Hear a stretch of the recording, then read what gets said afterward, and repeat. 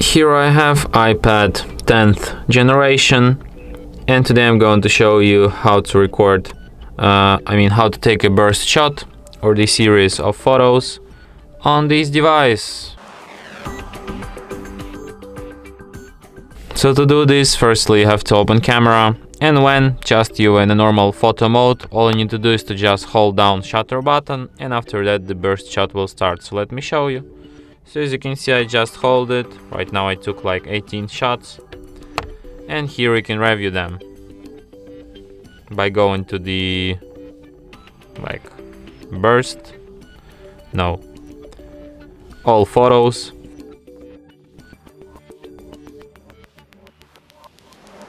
Uh, here we have my burst shot.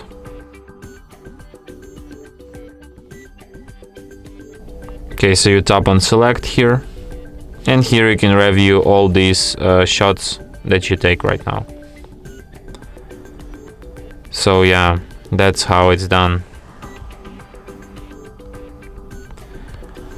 And that's it. Thanks for watching. If you find this tutorial useful, don't forget to hit that like button and subscribe to our channel.